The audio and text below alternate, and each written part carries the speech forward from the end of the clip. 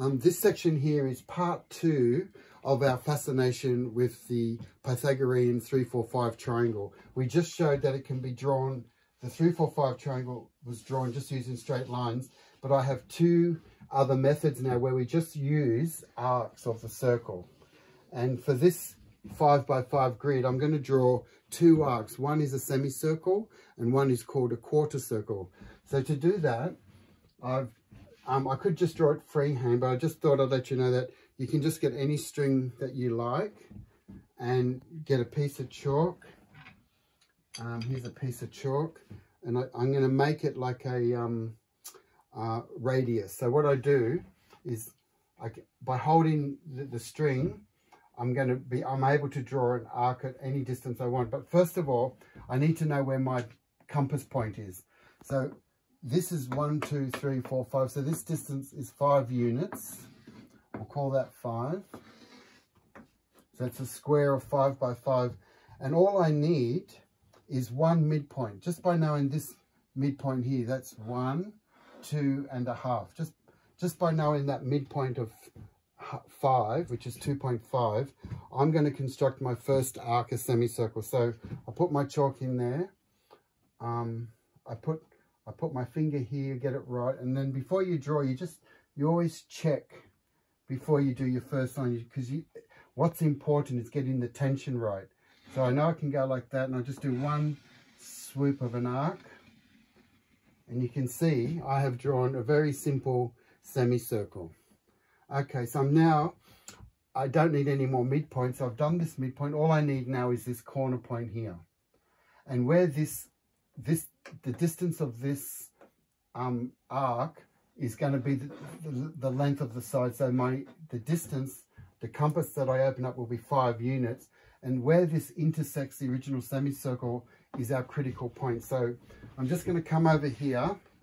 And to do this properly, I have to put the chalk in my left hand. I'm actually ambidextrous. It's great to be ambidextrous because it means you can draw with your both right and left. And it's very good for balancing the hemispheres of the brain.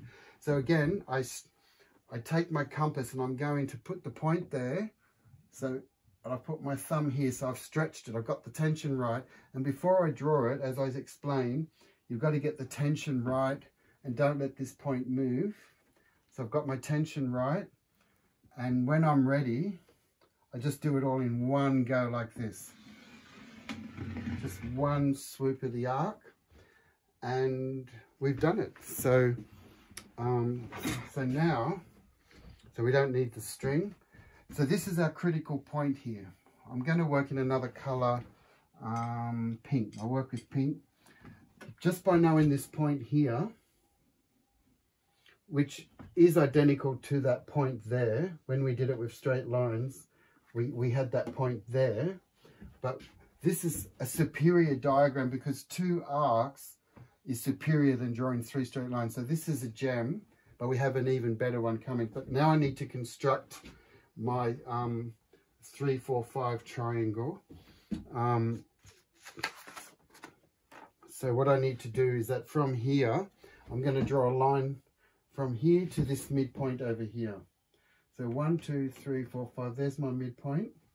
So I draw that in, and this is three units. This length here is three. Um, that's three units because if I come in from there, that's one. That's 1.2.3. Um, over here is four. So from this point here, that gives me my 90 degree angle. So that's my 90 degree angle. That's, um, you can, one, two, three, four. That's one, two, three, four units. I'll put four. And this last one is the hypotenuse which is five units long.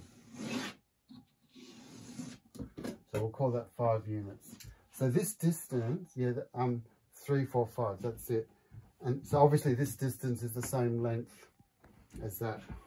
Okay, so um, I'm, I'm going to do this again. I want to show you a more elegant method of how it's actually drawn. So I'm going to, I'm going to lift this, I'm going to replace, have the same grid I've got the same grid and this we'll call it version 2 and this version that I'm going to show you is actually a bit more elegant than what we've done. And this was given to me um, by my um, uh, by my friend Callum Coats. Um, when I teach, I was teaching at a Nexus conference in Sunshine Coast, Australia in 2008. And I'm with my friend Callum Coats. He's a high-level architect and professor. And we're having a coffee together and we're scribbling on napkins um, um, ge geometries. He says, Jain, look, here's a better, here's a way to create the 345 triangle with two arcs of the circle in it.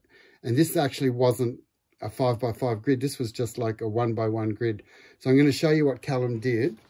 Um, and this one I really love because that diagram I just showed you doesn't exist anywhere. I've spent a long time trying to find this on the internet. Doesn't exist. This is something that mates and colleagues and professors share with each other. And it's um it's a transmission of knowledge. And since since I've had this diagram for 12 years, I'm really excited to show you that, that the power of sketches and information it, it, um, it influences us to share this knowledge to others. So this is Callum Coats's main book called Living Energies. And Callum is a world-renowned architect, mystic, mason of the highest order. And he was um, hired um, to translate four books by the, the, the man who gave us water um, technology called Viktor Schauberger. So Viktor Schauberger um, wrote four books and Callum Coats translated them from the German. So Nature as Teacher.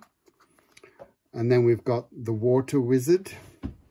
Can you turn it? The, the Water Wizard, the, the extraordinary properties of natural water.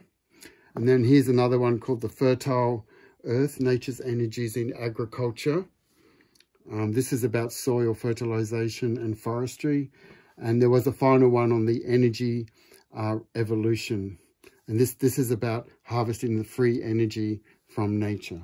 So I just wanted to show you that um, this, this little tidbit of information has come from extraordinary um, mathematicians and geometers who just love sharing knowledge. So this is also a, a tribute to Callum Coats and Viktor Schauberger because this knowledge is meant to come out and and be great when the children start doing this as worksheets. So I'm going to do the two arcs again. So I, I need to get my string again um, I'll, I'll do it in orange. So I'm going to draw this quarter circle here. From here to there, the distance is five. Um, so I put, I put my finger about here. So, I've got the tension right. Just check it. Just check the tension. Whoop, push too hard on it. The tension's not right. You can get the tension right, but the press, the pressure the pressure's got to be right. So we put the pen, the compass there and we go through, I have to go through that point from here and we do it in one swoop of the arc. So we've got one arc and I need to do, um, I might just do this one by hand because this one's a semicircle.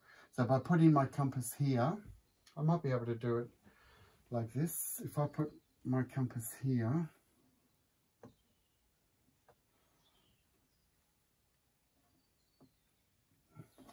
Got to get the tension right. So you can do this in, and I do it the other way, swap hands, being ambidextrous. So you can see here we've got a beautiful semicircle and where they intersect here at this point gives us um, our next gives us our next triangle. I'll just draw this by hand you can see clearly here that this is one, two, three. When we did the other diagram, it was on an angle, but this diagram is superior to all the others because I can clearly count one, two, three units. And as I go from here, because it's a five by five grid, I can clearly see that this is one, two, three, four. And obviously, according to Pythagoras' theorem, um, this must be five.